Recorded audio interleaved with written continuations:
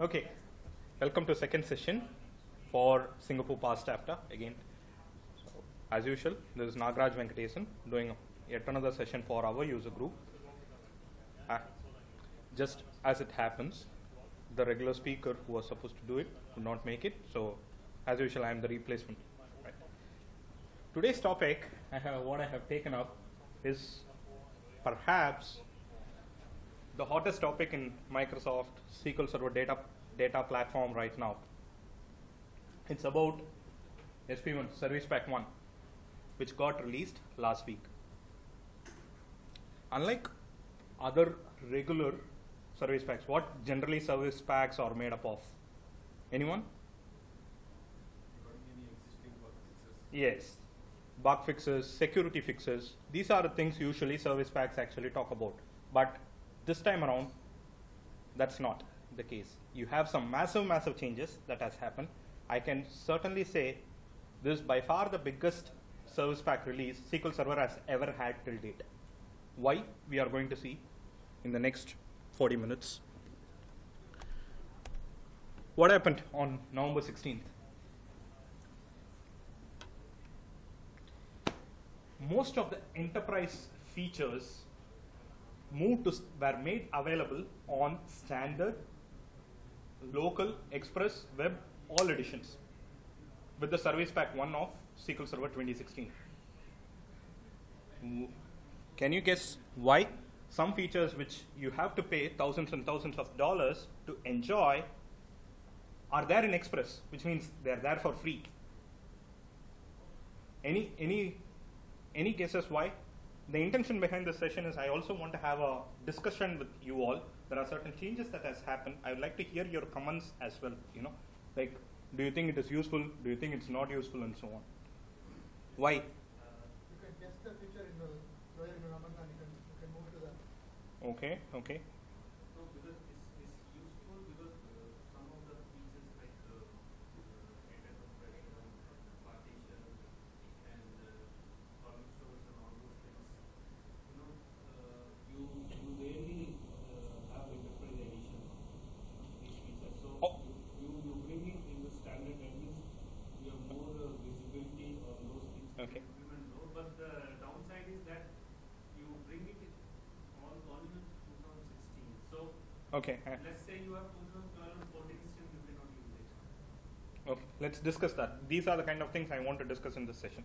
Okay, so as as he pointed out, meaning you want to you want you want to have a common environment across editions. What has actually moved is is features that are that are related to programming or T-SQL. The idea is to have a common programmability surface. What it means is across the editions, it should not matter how I code. I may my code may sit in standard or even express or in enterprise. It should not make much difference. The difference should be in terms of the performance, whether your application demands so much of performance, then you move to enterprise. The way you code should not be different at all across across the board. Why is it so? If you are wondering, just take an example. Now we are living in an era of cloud and shared environments and so on. You may develop a very small application in probably in Express Edition. You know, you develop your application, but it is most likely going to be deployed in a on production. It may be deployed in an Enterprise Edition, right? So that doesn't mean you should be you should be restricted. Your development options should be restricted, right? Ju- Just because you cannot afford an enterprise edition on your development environment. So whatever you code should be independent. That's the idea. Yeah. But we 2016 developer edition. Yes, that's that's one option. That's certainly one option. Idea is basically whatever development features you have needs to be consistent across the across the board, so that as your as your application usage increases, you get to scale up. It's the way you code should not actually make a difference. So, good that some of you have already got started the discussion. What moved from from standard to enterprise? The biggies. Let's column store. Column store index how many of you have heard of column store index? Okay. So it is more the data warehouse feature of sorts, which can give you lightning fast performance when you are fetching large volume of data. In-memory OLTP released in SQL 2014, even Andreas I think touched upon it, released in 2014, in aims at giving 100 times performance by placing tables in the memory. I think I have, I myself have has done two sessions on in-memory for our UG. And then very, very interesting, security features have been made, lots of security features have been made available to standard web and express editions. And then change data capture, database snapshots, compression, partitioning, all these have been made, made available. Let's take a look at few of them. Uh, take a closer look at few of them. In case, let, fortunately most of you know about column store, but let me just do a very quick introduction or into column store index, a two minute introduction. Traditionally, when on the normal tables, the table is stored as pages, right? Where all the columns of the table are stored together. Think of uh, data warehouse application which casually fetch 100,000 rows, a million rows, which deal with terabytes of data and fetch about a few hundred thousand rows easily. Okay, so what happens is it goes and it fetches the pages that contain the row data and then it projects it, right?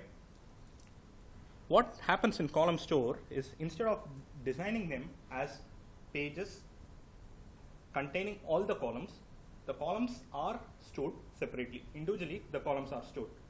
And then it is broken down into these boxes which are called segments. A segment actually con can contain up to a million rows of that column. So, what happens because of that is, let's say I have a query, something like this, select sum of C1, average of C3, and I need, where I have a filter condition, in the traditional table, let's say I- if I have this particular query is going to give me around about 100,000 rows or 200,000 rows, it has to go and scan or seek or scan all the data pages that are valid. In this case, and then after seeking, it has to project those columns, C1 and C3 alone, it has to project. Imagine data warehouse application, which if you are aware of these star schema type of table designs, they will contain 50 columns, 60 columns in one single table, right? So what happens if you are reading those pages, you are, though you are projecting only two columns, you are reading 50, 60 co- columns over there because you are forced to read the pages. What it will happen in if you have a column store, if you have designed it using column store, you get to project read only those column segments. The read happens by segments. So you get to read only these two. But as I said, a single segment can can hold up to a million rows. You read one segment, two segments, three segments, and so on. So remember that. Now let's discuss what happens with standard edition.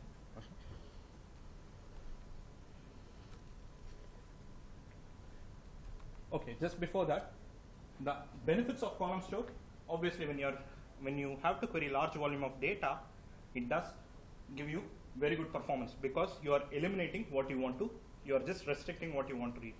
Another big advantage, you're storing those columns separately. What does it mean?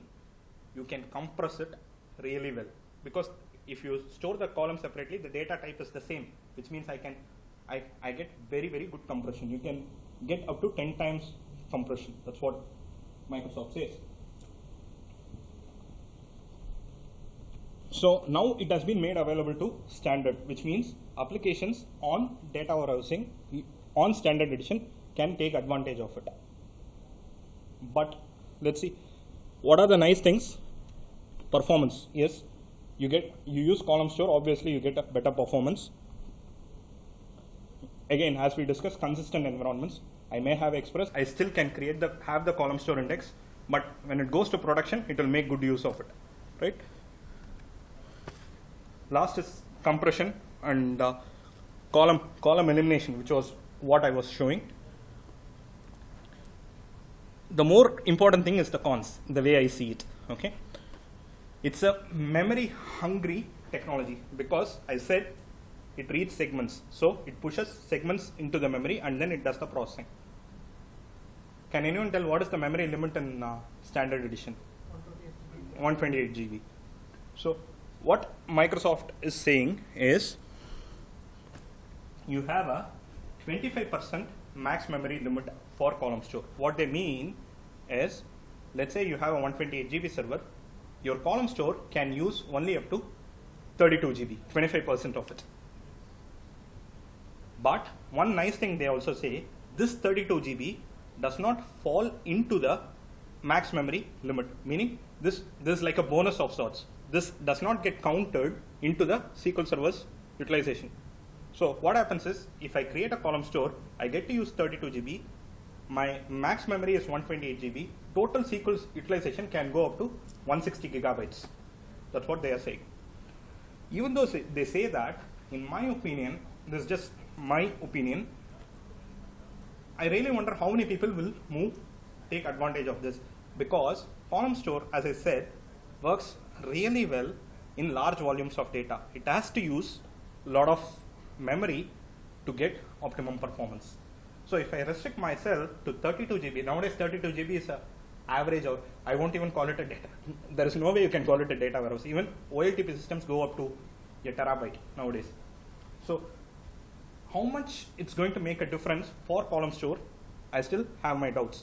Yes, it does achieve the common programmability surface of the policy of having the same environment across editions.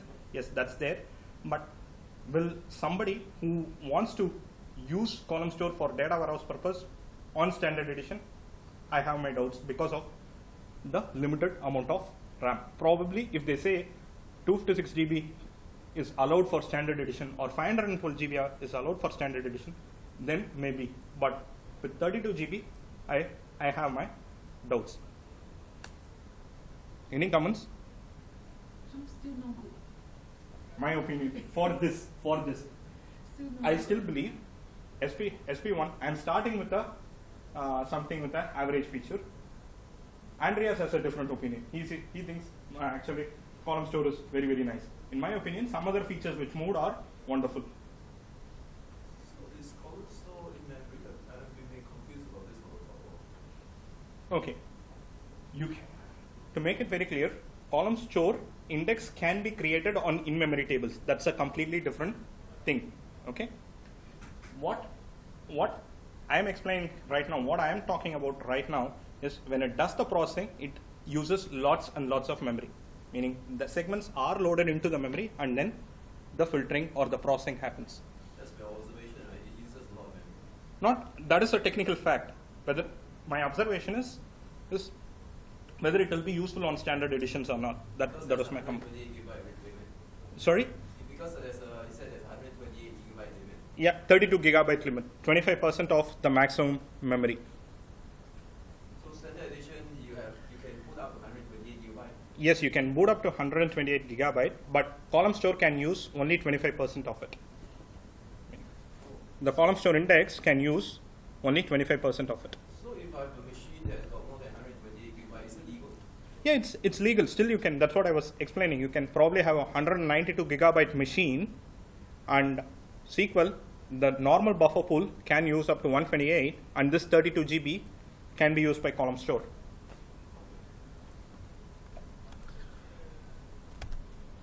Parallelism is limited to two, and there are a few additional features which were which were introduced in SQL in query processing on column store, like aggregate pushdown. They are not part of part of the eh, standard edition. More, they are again to give even more better performance to be specific for for enterprise edition. Yeah. Sorry, no, it's not a code change. This is a internal the way it processes the. But if internally, normally in, in standard enterprise, either is turned on or off. Yeah. See, if, it, if this is standard edition or enterprise edition, okay, either the feature is available or feature is not available. No, this particular feature is internally okay. There are certain features which are transparent to you but different from standard and enterprise. Okay, so things like fast recovery when you are starting a DB, that's specific to enterprise. Something similar to that. Internally, these features something called called aggregate push down.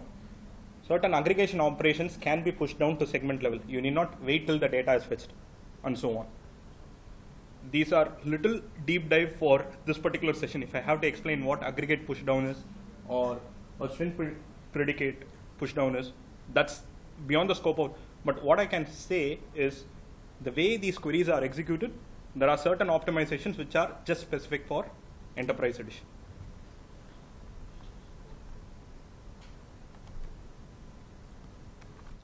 Okay, next thing we have is in memory. In memory, as as most of you know, you can pick your tables. They are placed into the memory, and then the way it's accessed is different. The way it operates is different, and uh, it aims to give you 100 times faster performance. Now, this has been made available in standard. Just a very very quick intro into in memory. As I said, in you pick the tables that you want to put it in memory. One of the most important features is it is lock and latch free. Meaning, what I mean by lock and latch free is it does not use locks to to maintain the consistency. It offers much much better concurrency. The rows are versioned, which means you don't get into read versus write locks. Okay, and the way it is placed in memory, unlike traditional tables, not as pages but as rows, which means you don't end up with latch waits. It does not use latches again to, to synchronize. Okay, so these two are major factors when you are dealing with OLTP systems. Most common waits on OLTP systems are locks, latches, and so on. These two are taken out of the equation. And the way way internally these tables and stored procedures are accessed are via DLLs, which again makes it a lot more faster. Though the tables are in memory, they are also written to the disk. The way it is written has no random writes. It has only sequential writes. That's the way they have designed it, which again makes it a lot more faster. In a nutshell, the table needs to reside purely in memory, and you get very good performance regarding in-memory tables. One important factor we need to remember is when you use in-memory, let's say you ran out of memory, then your inserts and updates can start failing. Your memory becomes something like disk. Okay? Now let's move, let's discuss. No, it's, how come it's going to be slow? Because all my access is through memory, okay? And as I said, it operates latch free and lock free as well. So it, I, I personally did a test over here to show, I think last year I showed you can get up to 30 times faster performance out here on this laptop on the level high, uh, in level 22 out here, okay. So the thing is you run, your memory becomes something like disk. So you run out of memory, what happens is you, you it, it's not like gets low, you get, you start getting errors meaning inserts fail, your updates fail, and so on. Okay. Okay. Now you are moving it to standard edition. Do you think it's a bad thing? Any comments? No. In my opinion, again, let me force my opinion all over the place. Okay. So, in my opinion, it is one of the best moves. Reason is not your most important table okay, your most important table in your OLTP application or most important tables, let's say five tables, they may not necessarily be the biggest table. They can be few hundred, few thousand rows or hundred thousand rows. Okay. Regarding memory limitations, again similar to column store, but out here they are not 25. Okay. Bob Ward says it is just 32 GB. It is given 32 GB. Similar to column store, it is given third in my per database you get 32 GB of RAM okay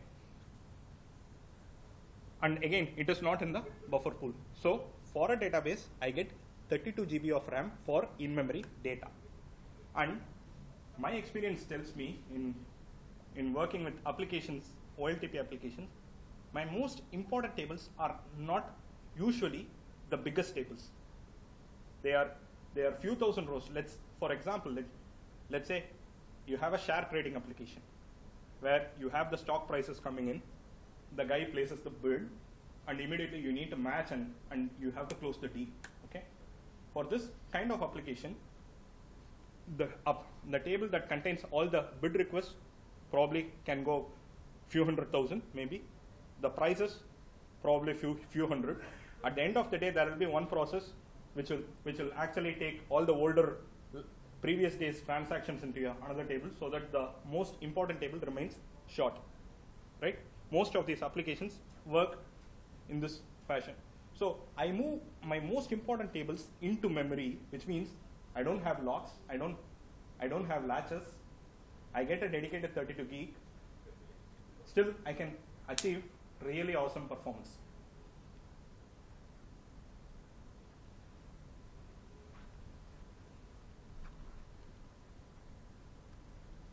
So, in my opinion, one of the best moves of SQL 2016 SP1 was to move in memory into into standard and other editions.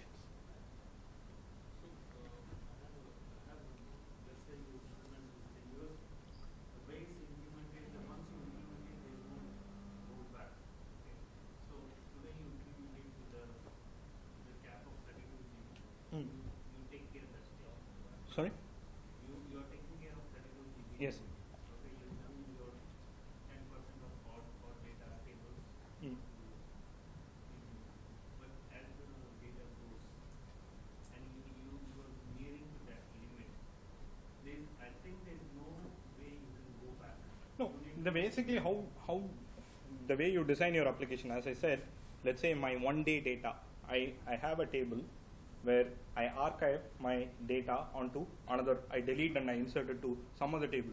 I maintain only a, one day of my data on my on my prime table. Okay, that what you are saying. Let's say I'm hitting the hitting the limit. Then what I do? The, the way I look at it is it's it's basically a capacity planning problem. You should ensure that you monitor and you ensure that you have designed your application in such a way that you work within that 32 GB that has been provided to you. Meaning you don't pick your massive tables which actually go in, but you pick the tables that are most important but not so huge. One thing I want also want to interesting thing that I would like to point out is on enterprise edition where you don't have the memory limit in memory's usage the row versions whatever deletes it stores the row versions are also counted for the memory amount of memory used by in memory. But in standard the row row versions aren't part of the quota that they have defined.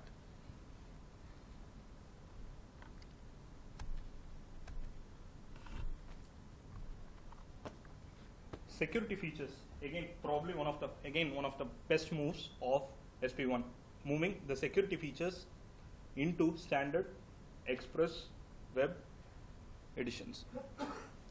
Like always encrypted. Why why i consider security features the moving them is very good is let's say i have a very very small application. Imagine this scenario. I just I just build my own application, SQL Express, and probably I deal with few hundred rows, uh, sorry, few hundred transactions in a month. Okay, very small application. But still, I accept payments. I, I deal with credit card numbers, so still I need good security features in my application, even though it is not the most busiest or something that demands highest possible performance. I deal with sensitive data. Even having one monetary transaction is indeed sensitive. I may just probably get only two orders in a month, and probably it may be worth only three hundred dollars. But still, I, I that transaction needs to be addressed in a very secure way. In my opinion, security features by right are not something luxurious. It's something has to be mandatory. It should be available for all, and it's a very welcome step that Microsoft has gone ahead and made this available across the board. A feature like always encrypted, which encrypts the data on the wire, is something that's it would it's wonderful to have it across editions. same goes for dynamic data masking, which Andreas also demonstrated. Okay. Row level security again, where you want to control the users, the right users access certain rows of your table. You can control at a row level which users can see which data. That is also made available. And fine grained auditing, which was previously on enterprise, now it has been made available as well as I explained, it's in my opinion, it's not a luxury, and it's more of nowadays it's more of a requirement, and it's a welcome thing that it has been made available. Any comments? Yeah. Okay. TDE. Initially, what I said, when we are looking at, we are actually looking at common programmability surface. TDE is more the infra solution where you want to protect your backups. So the sensitive data, one of the options is you use always encrypted where the key is only there at the right client. So, so it still makes it very, very hard to get around it and crack the your sensitive data. TDE is still you configure at a database level, not at your coding level. All these things are closely related to your programming, right? Any other comments? Yeah.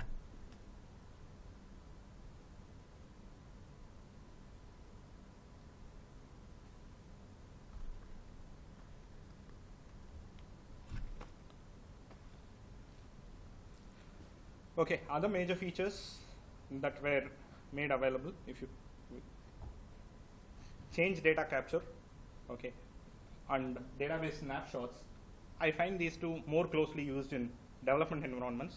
As I said, you want to have a common interface where dev, so it has been made available on the dev, on lower editions as well. CDC, uh, because you cannot have it in Express because you don't have agents, SQL agents on Express editions and compression partitioning again partitioning if you define it on your local database on it should it should comfortably port into your enterprise edition as well so it has been made available across the board another very very interesting feature that moved was stretch sql which was one of one of the most interesting features of sql 2016 got moved into made available across other editions too.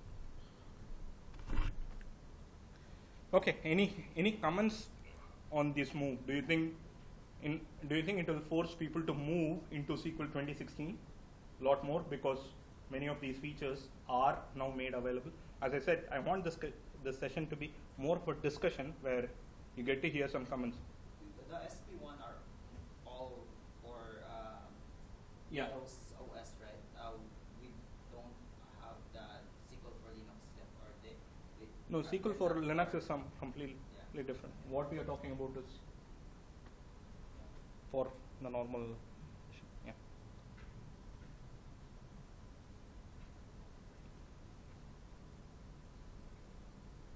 Yes, yes, sir. So again, it's not slowly there. So uh, personally, I think it will definitely uh, influence customers to move quicker now. And those customers who may already have moved, uh, at least now start taking advantage of some special features, like partitioning is one thing. And especially personally also, uh, uh, since I'm on the memory side very much, I think uh, that will be the start, the kickoff of now. Yes. Yeah? Because that really means like everybody can do in-memory stuff, and really everybody, not even Express, doesn't need it. Yeah. Yeah, but you can code it, you can learn about it. And then you can. Yeah. So that's what I've learned from my, I'm, I'm doing in-memory uh, training since three years now, I think. Okay. Yeah, many years. And all the time I ask who's already doing it, it's like one person in the room, yeah, maybe two, that's it. Sometimes nobody. So it's very, very low uh, adaptation because it's enterprise. Yeah. Also because it's a little complicated, yeah. But the main reason is really just for the enterprise customers. In Germany we don't have so many huge companies, so enterprise is not so common. Yeah, so this combination, but everybody wants his stuff to be faster. Everybody wants it to be in memory, even without knowing what it really means, just because it sounds cool. Yeah. And now they can, everybody can start coding for in memory, find out is it really helpful or not. Oh. Yeah, so I see a big adaptation rate there coming in. Okay, yeah. Uh, I'm using at least at least five to six SQL editions in my office. Uh, SQL projects that are using SQL 2012 will be moving into because of this release are likely to move to SQL 2016 for, for in memory. You know, so that is the level of impact of this particular announcement. Important as a edition wise, we don't need to pay like enterprise different cost we are paying and now because we can get that uh, Hmm. feature. And in standard edition, we are paying different cost because we can Hmm. get only these features. Yes. Now we pay for standard and we can get all the features. So Feature. that you are paying less and getting all the. Absolutely. So some people may ask, what remains in enterprise? Okay, I get everything. No, there are certain things which certainly remain in enterprise. High availability, always on high availability, fully functional, always on high availability, still remains in enterprise. You have something called basic availability group, which is available in standard since SQL 2016, but you get to use only one database per for an availability group, and you don't have readable secondaries, and you can't do backups on on your secondary in basic AG. TDE, as somebody already asked the question, TDE is still reserved with enterprise. Resource governor again reserved with enterprise. Online indexing is still enterprise.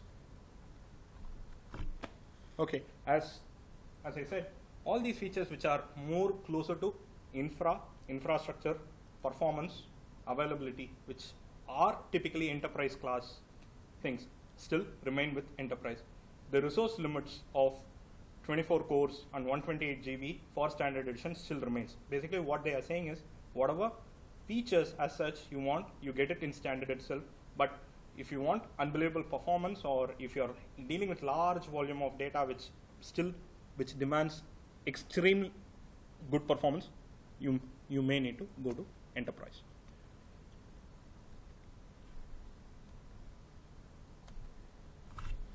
Okay, no, no session is complete without demos. Initially, if I are comparing editions, obviously I can't show too much of demos. There are certain other good things which moved from, uh, which are introduced in SQL Server 2016 SP1. We'll take a look at them hmm, now. What are the other things other than these edition changes? There are also other interesting things that moved into SQL Server Service Pack 2016 SP1. We will go through a list of them.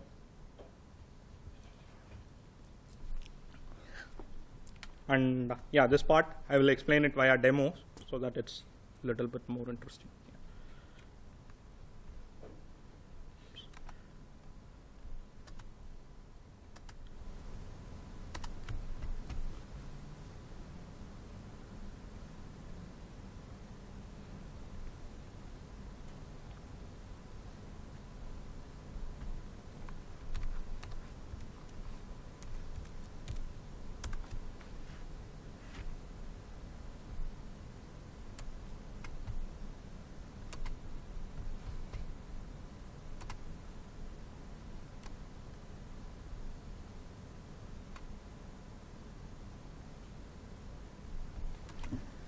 Okay, SQL Server 2014 in SP2, if I recall, introduced cloned database. Anyone knows what it is? Yes.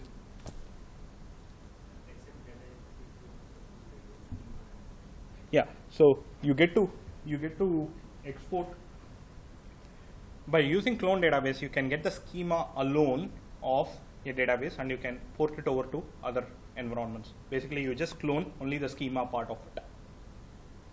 Inst not the data, just the schema alone. If you are wondering, okay, you already have export option to do that, task eh, generate scripts to do that. It it works in much much faster and better way. What SQL 2016 SP1 does is is you also get query stores data when you use clone database. I don't know if you have if you have had attended my last session, which was on query store, where you can actually store the query plans of of the of all the, the queries that are fired onto your database. You can store your query plans and do performance tuning with it. With with the DBCC clone database, now you can also you get the structure and also you get the query stores data and reports as well. Let me just show you. Currently, I have this data uh, database and uh, I have query store enabled on it.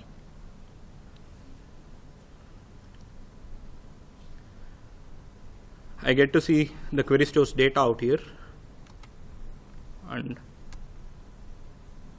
if I use the DBCC clone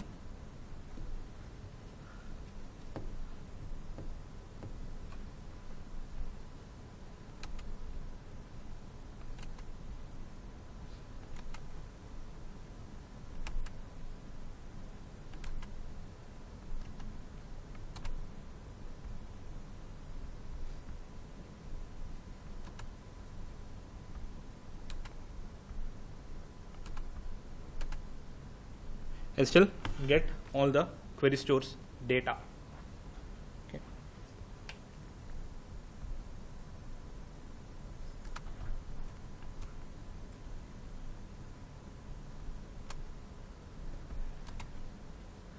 Okay. Previously, when you want to switch between ca- cardinality estimators, meaning, in, let's say you have a database running with a older compatibility on the latest compatibility level, but you want the older cardinality estimator to be used. You can use this query hint called option and you can specify the trace flag to move your optimizer functioning at a lower cardinality estimator. Now, but the drawback with this was you need when you use option query trace on, you need sysadmin permissions to run that particular query. Okay. With SP1, what they have introduced is you have the option use hint, and then instead of using the trace flag numbers, there are you can give these descriptive, lot more clear, clear hints saying that what you are actually trying to achieve. And this does not need sysadmin rights. Previously, to use such kind of hint, you needed a sysadmin permission.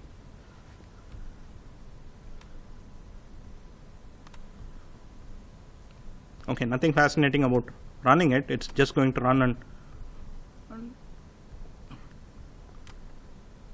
give me the result that's it.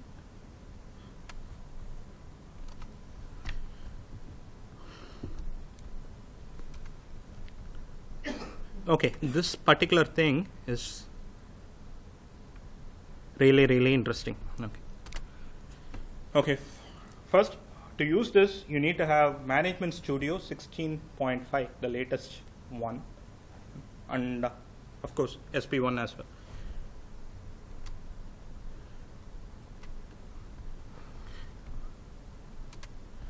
I'm just going to run a query and open up the query plan. There are some very, very interesting things that have been introduced on the latest show plan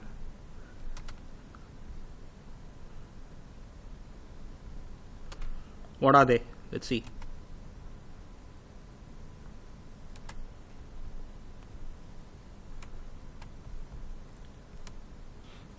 First, most interesting thing is at the bottom wait stats. When we have a query plan, now we have the ability to see what are the wait types it actually underwent. Previously, you get the plan with all the the IO cost, number of rows, and so on. But now you can even see what wait type that particular query went through. Expand it, you get to see. Okay, SOS scheduler yield, two two milliseconds, and so on.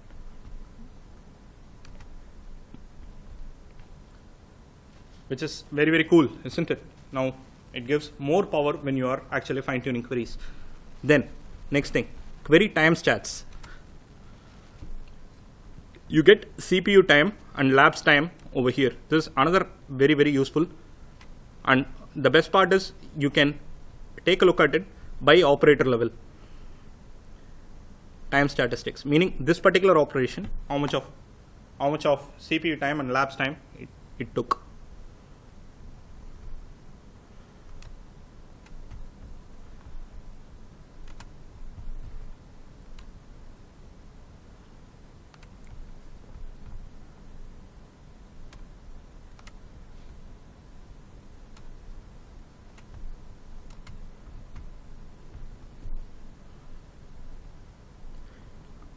Look at this also. You have IO statistics similar to what you used to get when set statistics IO on. This was previously not available. You get to see it via query plan itself. You can you can see how much of physical reads this particular operation took, how much of logical reads and so on. Pretty similar to what you get by sets IO statistics on. All these on query plans itself, which is again very very useful.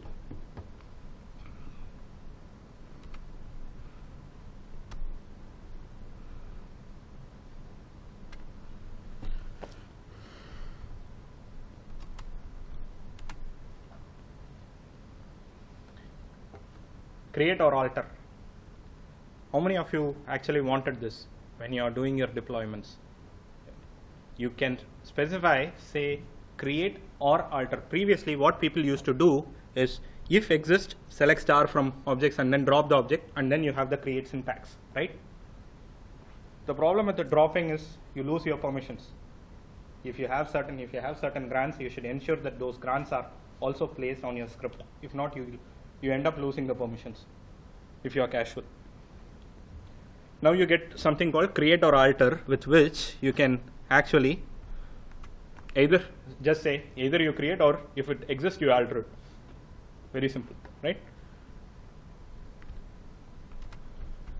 There you go.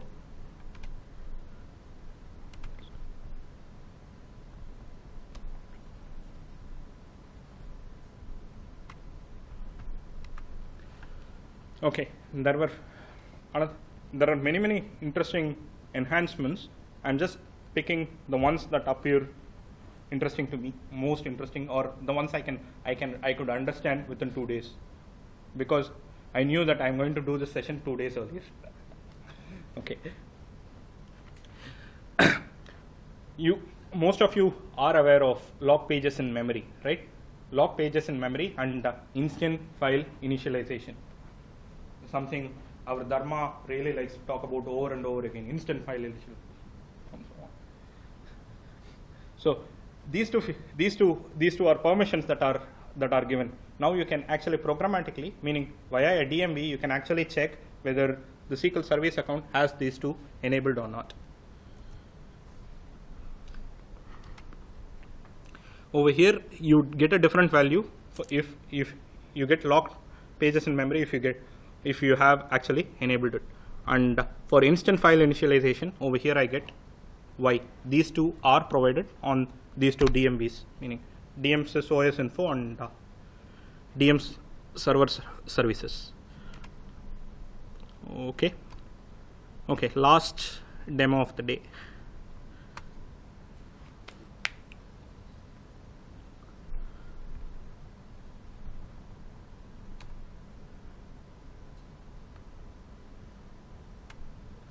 Most of you uh, production DBAs, most of you would have some mechanism of tracking what are the queries that are executed uh, once every five minutes or certain intervals so that you can actually use that for troubleshooting purpose, right? And most of you will be tracking query plans, right? You also capture the query plans. I believe some of you also capture the query plans. Those query plans have what you capture using the DMV EXEC query plan it will give you the estimated number of rows, all the estimated estimation time stats, right? With SQL 2016, you have yeah, a new DMV called DM EXEC Query Statistics XML, with which you can actually get actual number of rows, not just estimation. For number of rows, you get to see actual number of rows that are being processed for that particular query.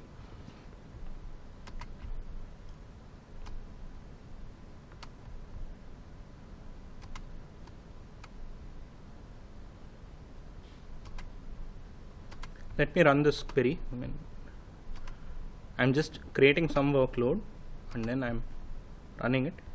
For to use this, you need to have this trace flag on 7412. It is called lightweight profiling, which not like your profiler, but it it is a lightweight. It tracks a few statistics in a fairly lightweight manner.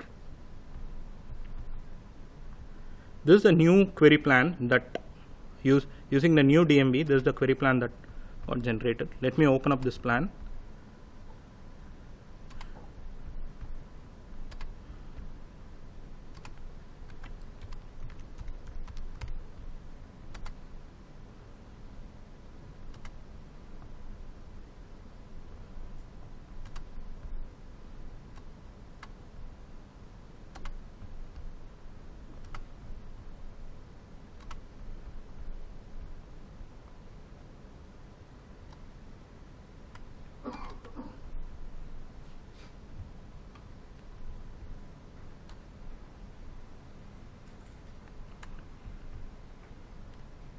You see the actual number of rows, like earlier.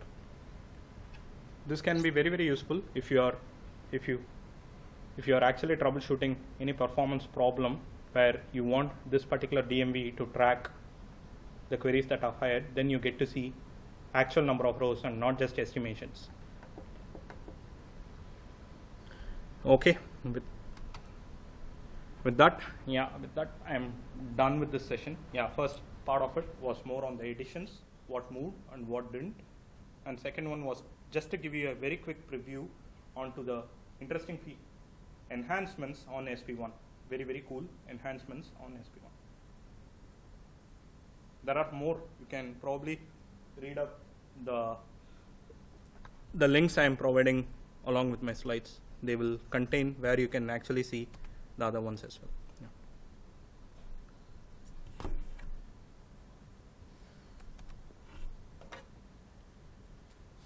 Anything else? Yeah. You, any questions, please?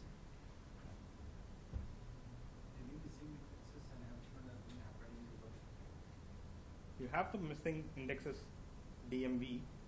Uh, as far as I know, not that I'm aware of. Yeah. But there are blog posts that keep getting released almost every day right now on new feature on SP1. There are so much of so much of new things that has happened.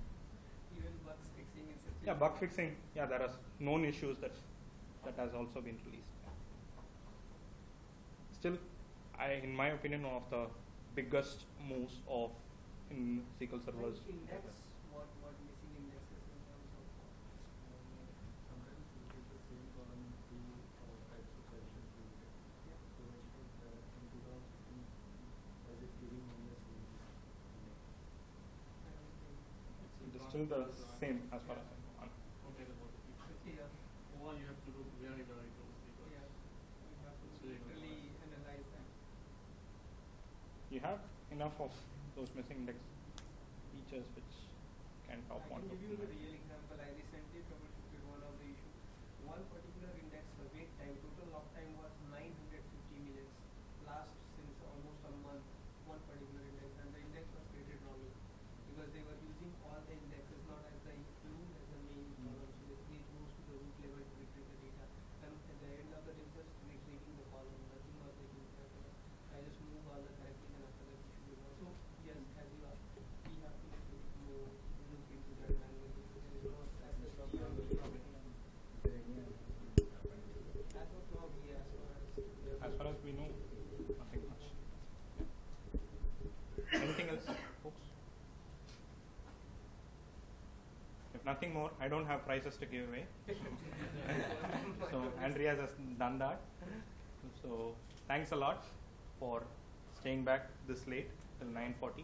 Nagaraj, can we make this quick poll that we discussed about? About subjects for one day? Oh, yeah, you can, you can, you can, you can go. ahead. Yeah, he has some. He has a question for you all. Yeah. I just uh, use your PowerPoint so I can write something here. Yeah, yeah, yeah. Sure, sure, sure. Please. So please bear with me uh, just one minute because um, I can say like uh, Nagaraj and me on the vendor and the other uh, organizers, we are thinking about making a special event next year. Um, and one of that, uh, one of the ideas is to do a one-day training class. Yeah? So the exact setup, pricing, and naming, that's not the point right now. What what I would be interested is what topics are you guys and girls interested in? So I have prepared a small list which I can offer you basically. Um, I would just like to have some hands up. Um, for each of those topics, if you think that would be a topic you would like to spend one day, very cheap special price in memory and column store would be one topic. Ah, so. Then-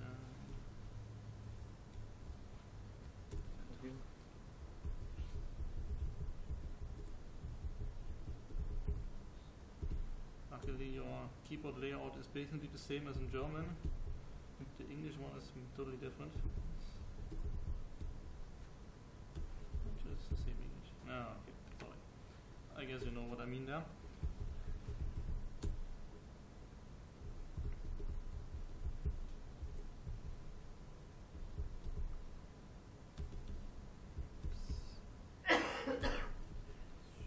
Okay, so what I mean by this, well, the first one is quite obvious, the, uh, the in-memory OLTP features, which are now available in Start Edition. I think this would be a good reason to teach, but the question is, is this interesting for you? Also the column store in combination. Yeah? Would that would uh, be an interesting topic where you would say uh, you would like to spend the time for one day? Quick hands up if yes, or low hands if not. Okay. One would be totally opposite, not so fancy, but more like the basics. Who would think, yeah, I would like to have a really basic, like what's a, what are the best practices that everybody needs to know for administering SQL Server? What settings should I use? Which ones should I rather not uh, use in the beginning?